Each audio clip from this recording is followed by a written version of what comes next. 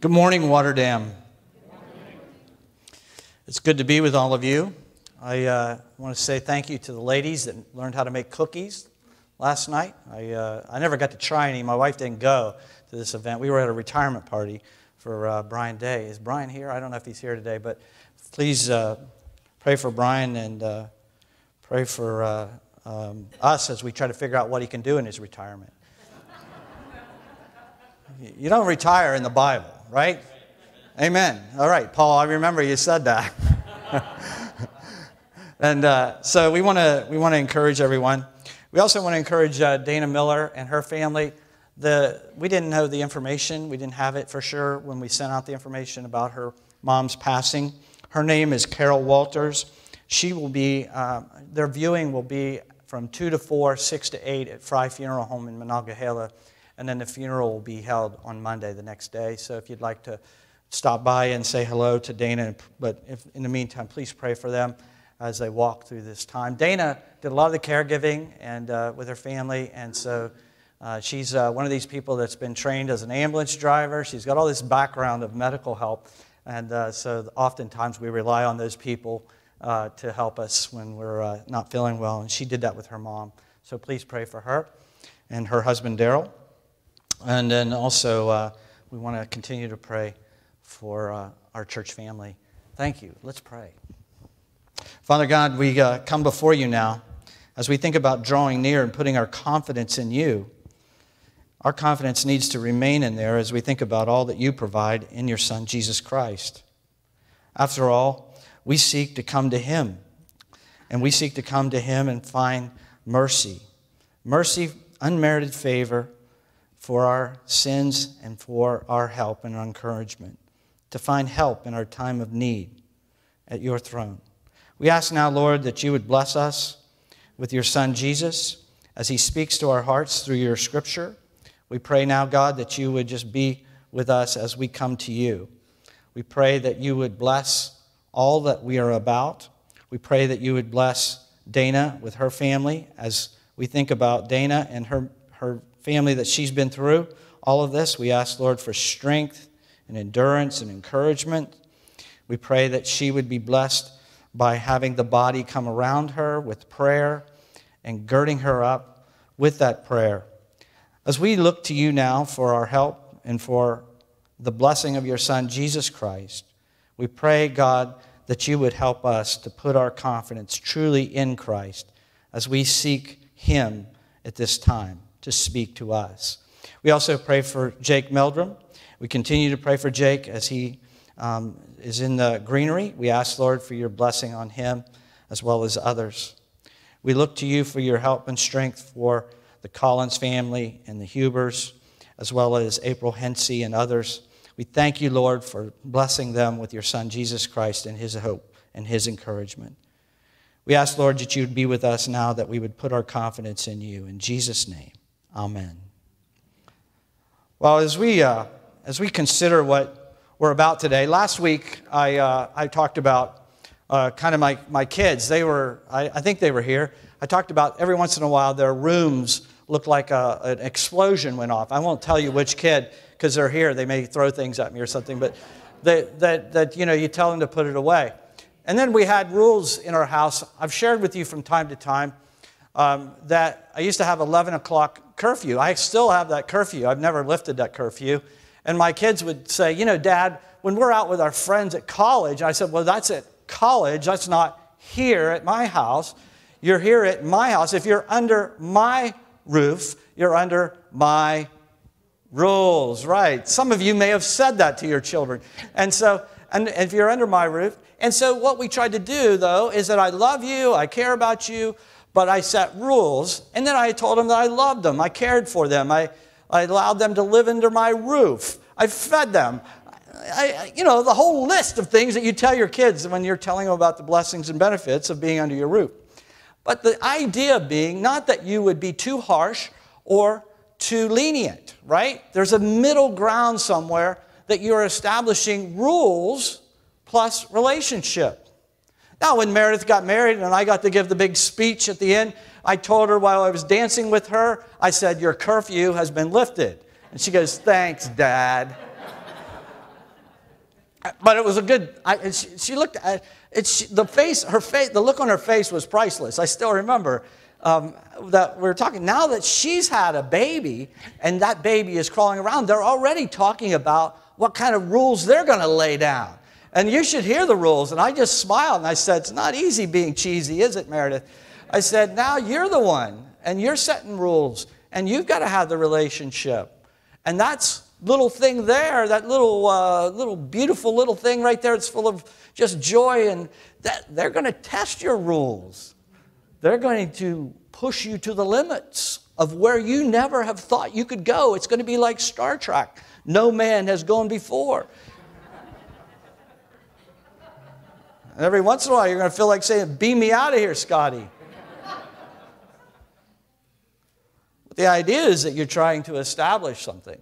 You're trying to put down fence that shouldn't be removed to protect them, not to hurt them, not to harm them. And so, as we look at this and we think about what God has for us, as we think about putting our confidence in Christ, remember the writer is warning the people the principle of this while the promise of entering God's rest still stands, the way is open, but it's only open for a limited amount of time. The second thing, the way is narrow. The way is narrow, and few find it. So it's serious business here. God is telling us through the writer of Hebrews that to the people that are in the church, He's saying, don't get, don't get uh, kind of too lenient with this.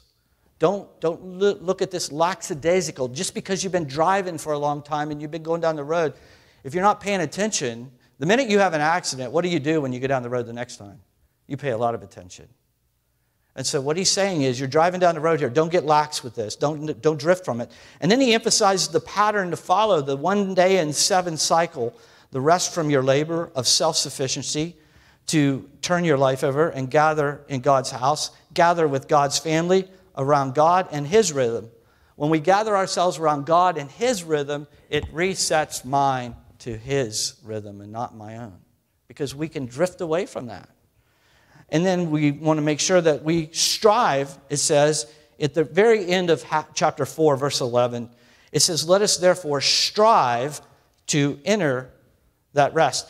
Pete's translation last week when he read, he said, Make every effort to enter that rest. Don't be lackadaisical about it. Don't neglect it. Don't doubt the word of God because doubt leads to what? Falling away, he said, from the living God. Falling away from the living God which eventually leads to death because the warnings were all about the people not entering God's rest. Thousands of people didn't enter into God's rest. So he says, and then he says something very interesting. Remember, I, I shared with you the doctor knew that I needed heart surgery. He didn't tell me everything. He just basically said my carburetor, need, carburetor needed more gas. And I started thinking about that after I said that last week. And I'm thinking, I guess he didn't want to tell me that I had several occlusions and that they were very, very, uh, he didn't want to tell me all about the medical terminology. He said, and I think he did it for me. He reached down to me, you know, because he, he noticed that I wasn't the sharpest drawer in the knife. So he said, you know, your carburetor needs more gas. I know, I understand that. So I, I knew I had arm pain down both arms. So it's like, I'm getting something out of this. I need, I need it. So the carburetor with the gas thing, I understand that, so I'm going to get it. That's, that's, I just felt, and then, like, so now I'm here today talking to you guys, and I'm thinking, you know, what I may say, you may kind of write off and think that it's only for seminary students, but what I want to share with you is that it's not for just seminary students, it's for all of us today. So the temptation is going to be, well, that's for theologians. This is, this is very serious here because he's warning us and he's warning us of drifting and doubting and then leading to death, not entering into God's rest.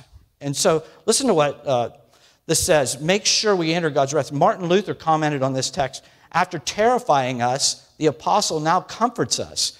After pouring wine into our wound, he now pours in oil. It's from the Philip Hughes commentary, the Epistle to the Hebrews. He says, rather than trying to hide because of our sin, the author shows us that those who are in Christ, that the throne is not a place of fear, but rather a throne of grace. So when we're trying to get our children to come to us, they don't have to fear us. They can come to us. So God's this is a picture of what he's saying is that God's throne of grace. What does it say about God's throne of grace? That we can find help in our time of need. We can find mercy and grace. Mercy being unmerited favor, not getting what we deserve. Grace, God's riches at Christ's expense. That's what he's saying that you'll find. So don't be afraid. Don't be afraid of God. Come to this, come to him in prayer. So who do we come to? We come and we're putting our confidence not in ourselves, because after all, if you looked in my closet, and my wife will attest to this, is that my closet looks like a bomb went off in it after a while. Because what do I do? My wife says, I don't want your clothes laying on the bed. I don't want your underwear laying on the floor. So what do I do? I open it up and I throw everything up on top. And then I shut the door. It's out of sight, out of mind. It's good enough for me. But then after a while, I can't find my t shirts because they're buried under my underwear. Sometimes my old underwear. So just it covers it up. He's saying here, no, all of us need Christ. I need Christ. And I'm no better than my kids. I, my closet's messy too. So uh, the, the Word of God, he says, is active and sharper than a two edged sword, and that it, it, it, it reveals things about us.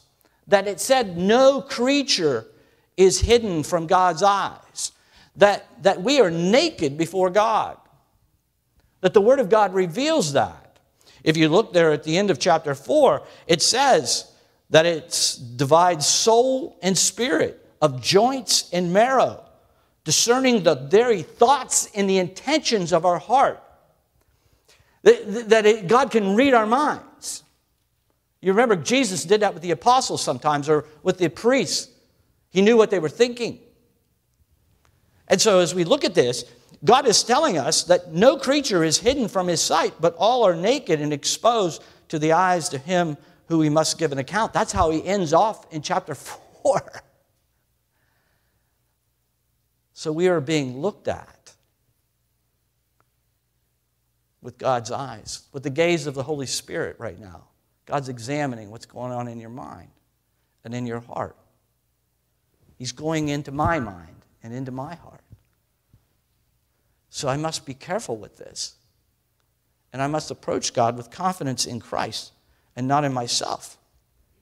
I too am a sinner.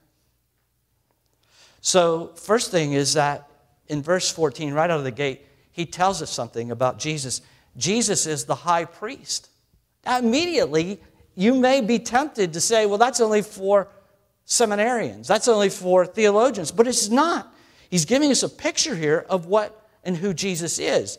He's saying, since then we have a great high priest, after he just told us we've been exposed, he's warned us, we have a great high priest the first thing he says is that since we have a great high priest, the writer does not refer to Jesus as our life coach here to make it applicable to the modern day mind. He's talking to a Jewish audience and he's saying, Jesus is our great high priest. He's the high priest above every other priest. He's not just a life coach or some teacher, uh, some modern term. He uses a picture of Jesus from the Exodus, which we just came out of. Now, people wonder why I teach out of the New Testament and I go back to the Old Testament. Why do I go to the Old Testament back into the New Testament? Because it's all God's Word. And it's to help you kind of lock in the reasons behind what God is wanting to teach us. That He's sovereign over history.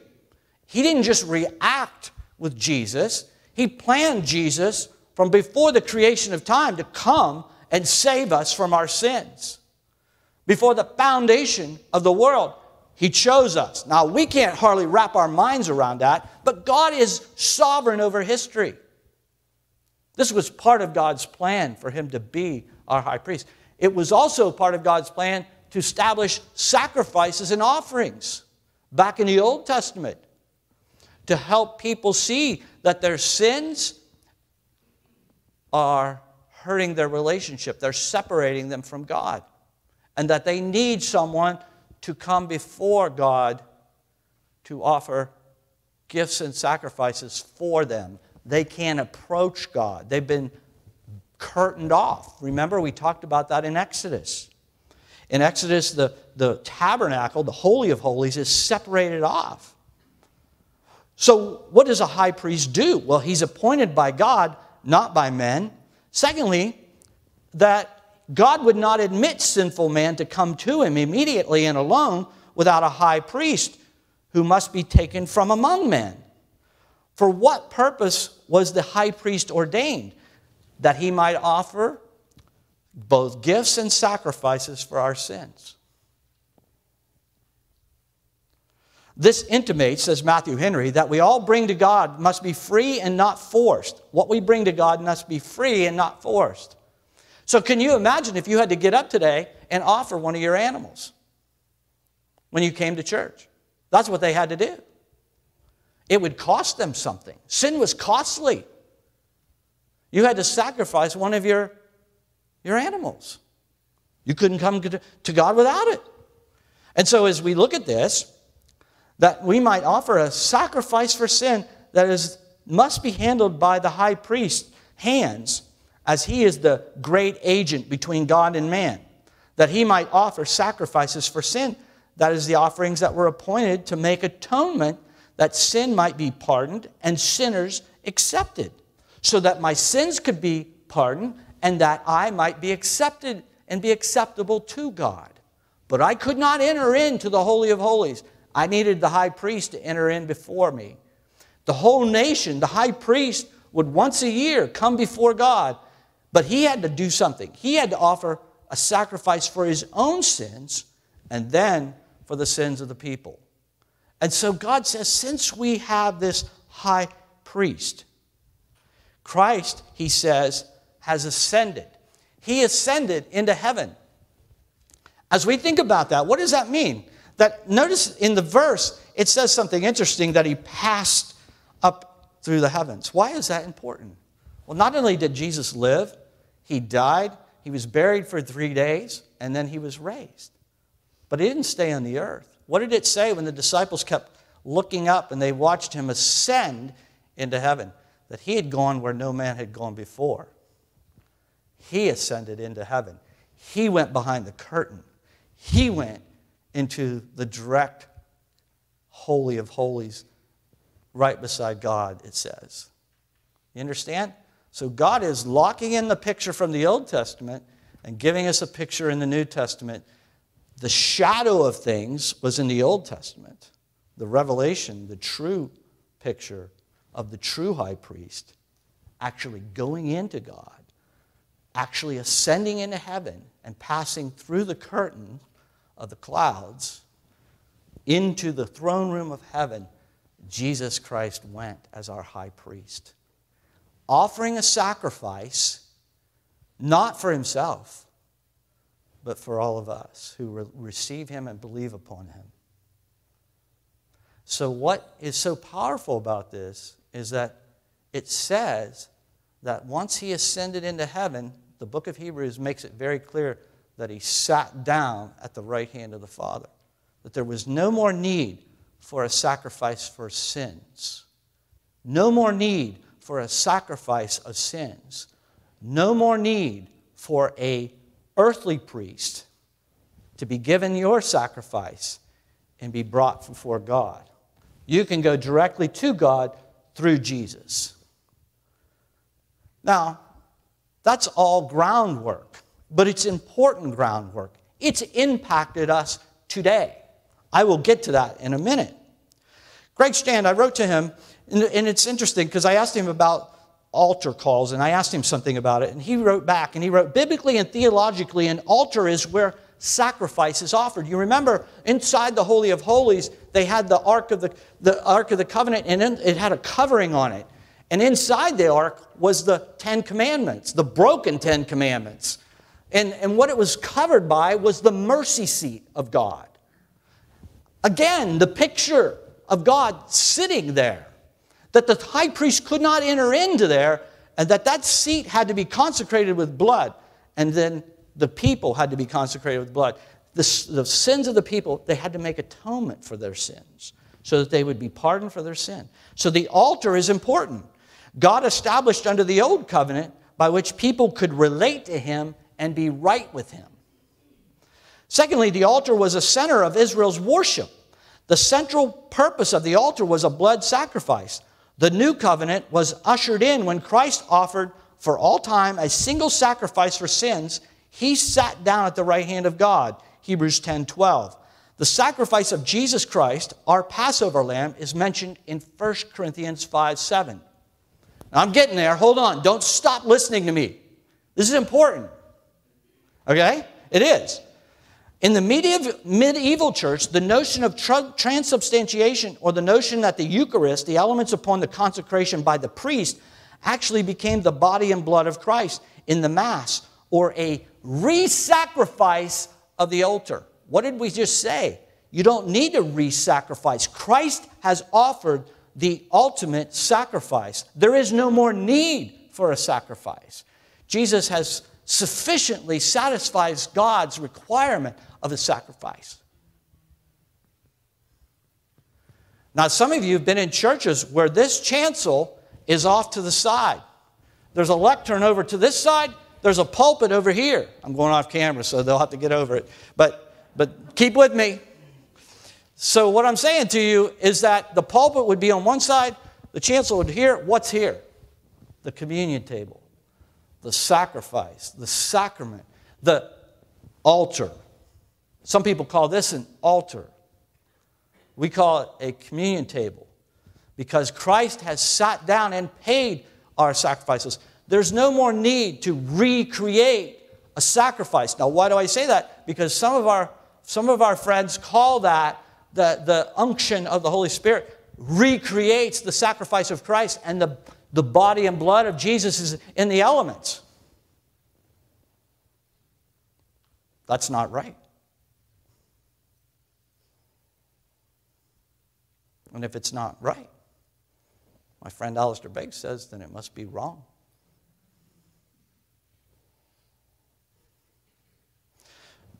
Now, what I want to say to you is that I'm not here to fight over transubstantiation or consubstantiation, those terminologies, because there is a serious thing about taking communion. You are to recognize the body and blood of Jesus Christ, the work of Christ. We are to recognize that. It's a memorial to his death, but it's not to be taken lightly because when we take it, we're cautioned when we take it that you need to take it seriously. He said, because that's why some of you are falling asleep and are, some of you are sick for not recognizing and taking it nonchalantly. So it's very important that we understand that since we have a great high priest, he ascended into heaven.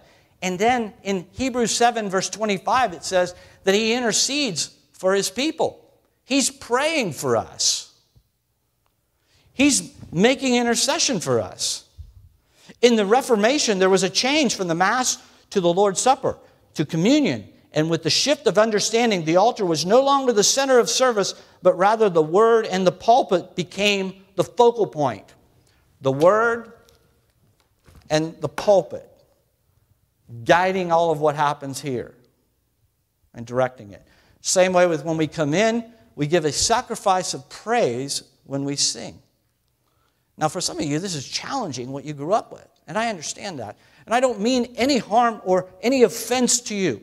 What I'm trying to do is teach exactly what the Bible says about this because if we assume things in that understanding without going back to the Old Testament and locking in what they mean by a high priest, and then we come over here to the New Testament, we lose the meaning of it and we can drift off course.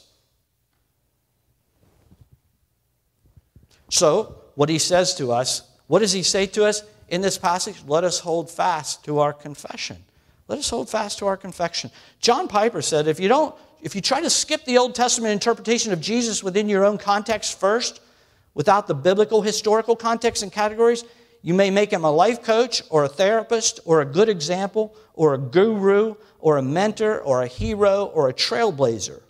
And there may be some truth, he says, in each of these, but they will not be as true and deep and as authoritative and helpful as the categories of the Bible itself.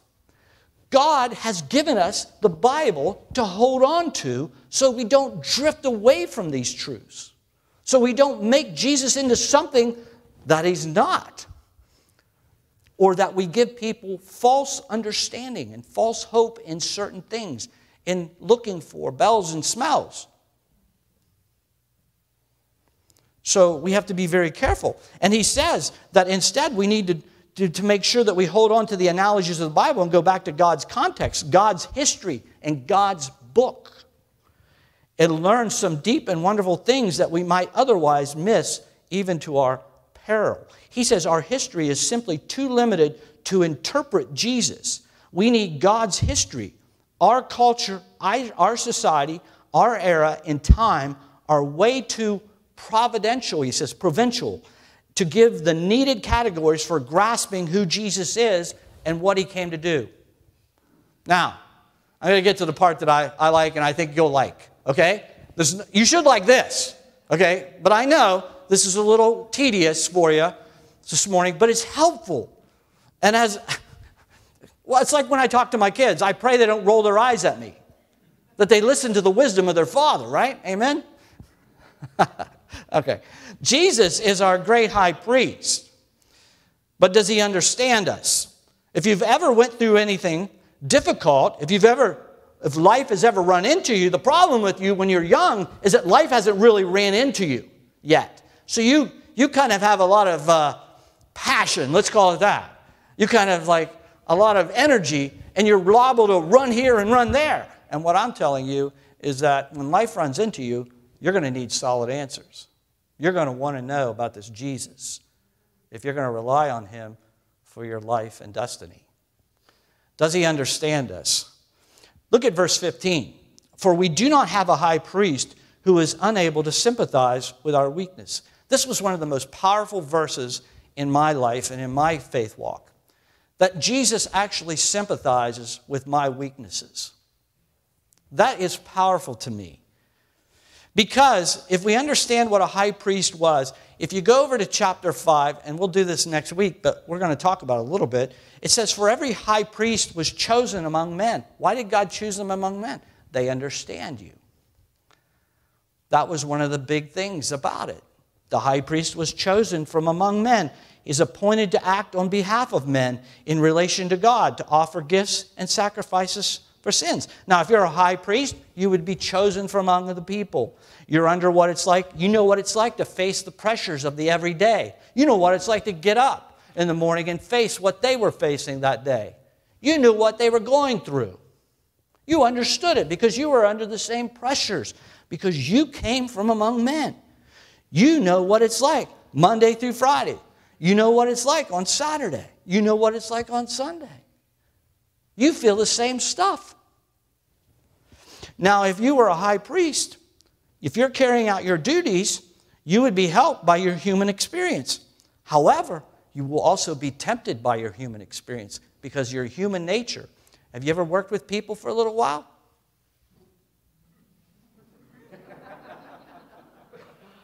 What's it like to work with people? After a while, you kind of run out of gas, don't you? Your compassion meter kind of goes out the window. You're like, I'm out of gas. I don't think I can put up with this any longer. Or you get angry and you start, you react in anger. Your patience is wore out. So here's what he's saying. If you're a high priest, you're chosen among men, you would be helped by your human experience. However, you're tempted by your human nature, your sinful nature. So notice in verse 2 of chapter 5, he says, He can deal gently with the ignorant and the wayward. So when you deal with people, do you have to deal with people who are ignorant and wayward? Let's be honest. Even I can be ignorant and wayward, right? So hopefully I understand. Now, the temptation here is to not do this, not to, to listen to what he's saying.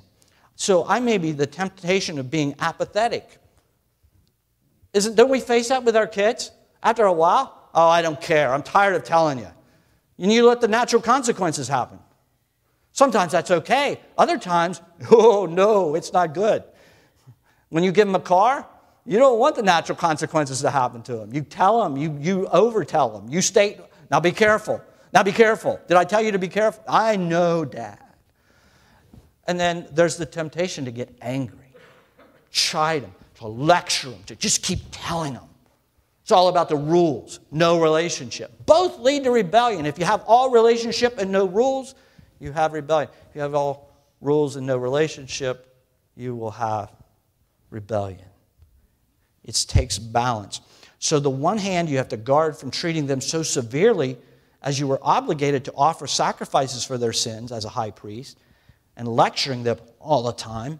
But then you shouldn't be too lenient about their sins, like a parent who has to balance between the rules and the relationship. Too harsh, you're all about the rules. Too lenient, you stop. You know, after all, when people come here, sometimes we have to tell them no.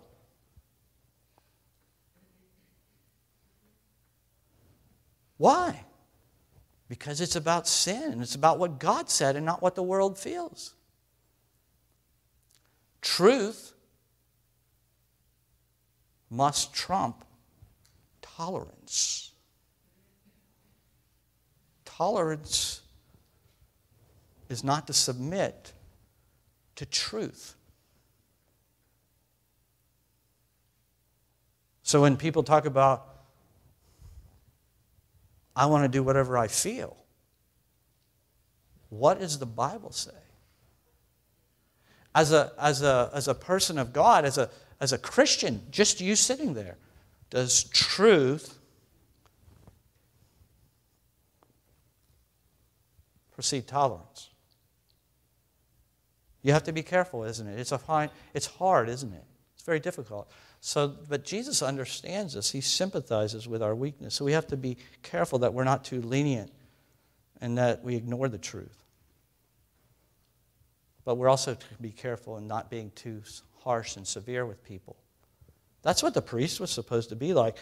What's supposed to humble the high priest? The idea that the high priest has to deal with his own sins that he had to walk into the Holy of Holies, and if he did it wrong, he could die. Abraham's sons found that out real quick. And they did it haphazardly. Nadab and Abihu, you can read about it in, Luke, in Leviticus chapter 10 if you want to go look at it.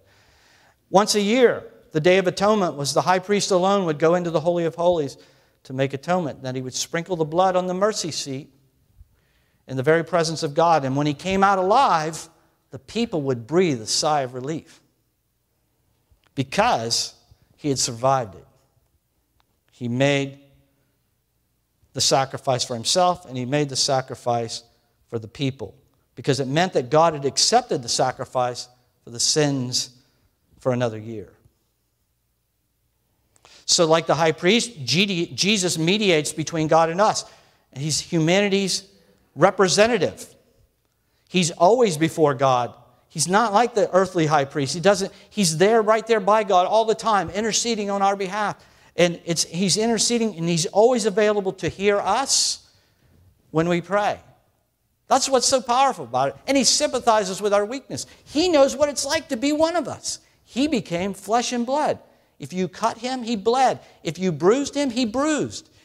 He grew up. He was a little baby, then he got, he got to become a teenager, and then he got to be a man, and he worked as a carpenter. He knew what it was like. He probably hit his hand with a nail or a, a hammer. I don't know whether he did or not. Well, Jesus is perfect. We don't know that. I hit my hand the other day. Ooh, hurts. But we need to trust that Christ understands us. So the second thing that we need to understand that he was tempted as we are, and yet he's without sin.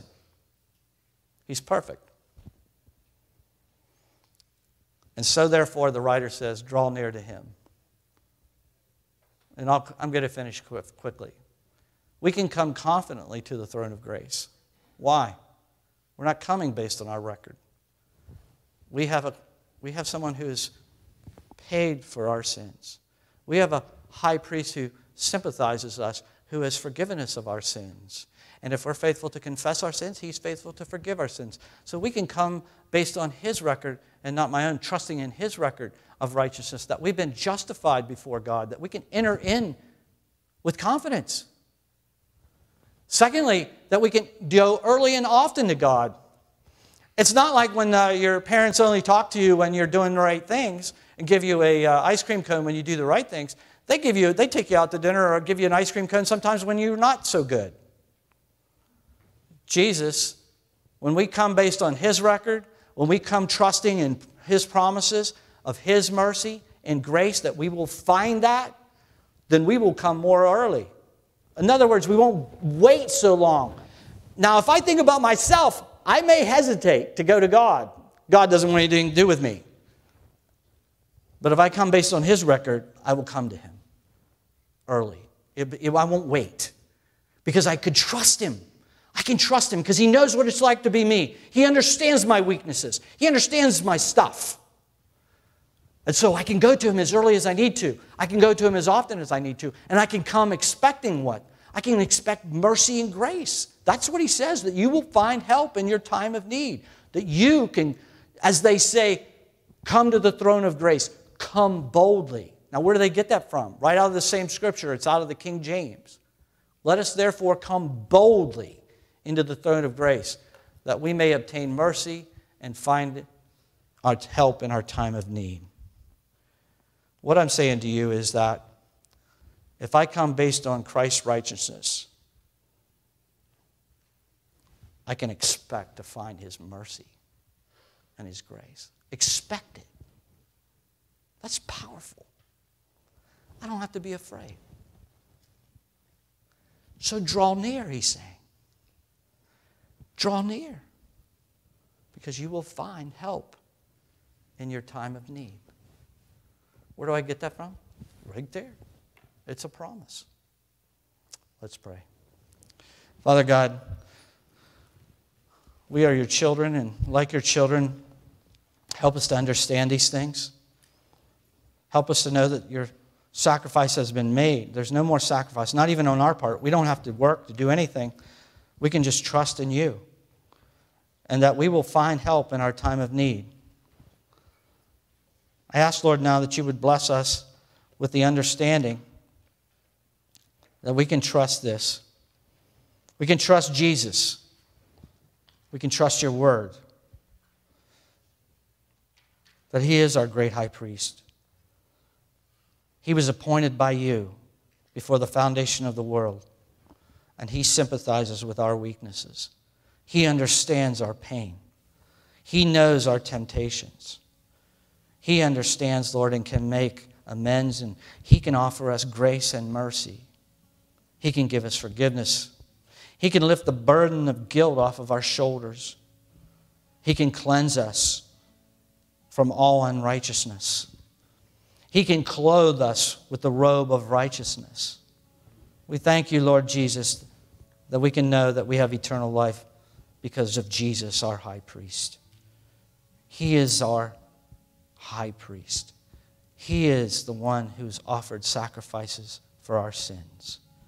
He is the one who puts his hand of grace out for the hand of faith, that we can trust him, that we can come boldly and we can draw near.